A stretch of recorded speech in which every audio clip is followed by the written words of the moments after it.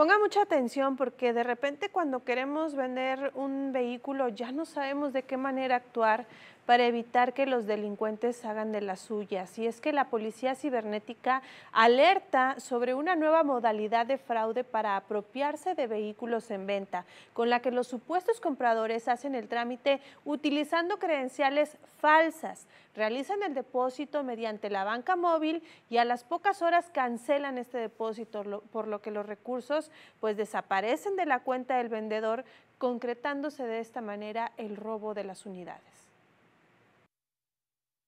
La Policía Cibernética de Coahuila advirtió sobre una nueva modalidad de fraude en la compra de vehículos en el que los supuestos compradores realizan con identificaciones falsas el trámite y haciendo una transacción electrónica pagan al vendedor. Sin embargo, un par de horas después cancelan el depósito, por lo que el dinero desaparece de la cuenta de quien ya cedió los derechos de su automóvil. Luego desaparecen con el dinero y con la unidad. Los delincuentes aprovechan para hacer esto el fin de semana que los depósitos tardan incluso más en reflejarse, se presentan como clientes formales, en ocasiones hasta vestidos de traje para no levantar ninguna sospecha y se llevan la unidad limpiamente tras mostrar el depósito por medio de la banca móvil, mismo que se puede cancelar en un lapso de 24 horas, señaló Víctor Ortiz, jefe de la Policía Cibernética. Por la banca móvil puedes tener 24 horas para quitarlo si me explico, tú cancelas la operación. Ah, Y más si fue fin de semana que los bancos no están tan alertas, pues es más fácil.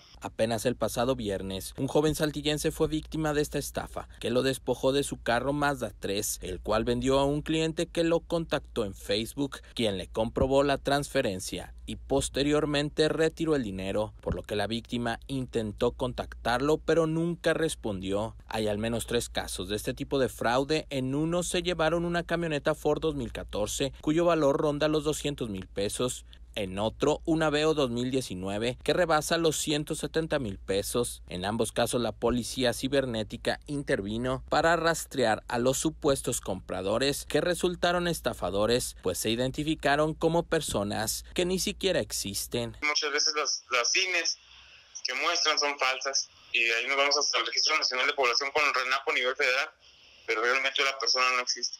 Ante esta modalidad de delito, la recomendación de la policía es realizar la transacción personalmente en un banco para que inmediatamente se pueda pasar el dinero físico del comprador a la cuenta del vendedor. Con imágenes de Armando Aguirre y edición de David Rivas, Carlos Rodríguez en Telezócalo.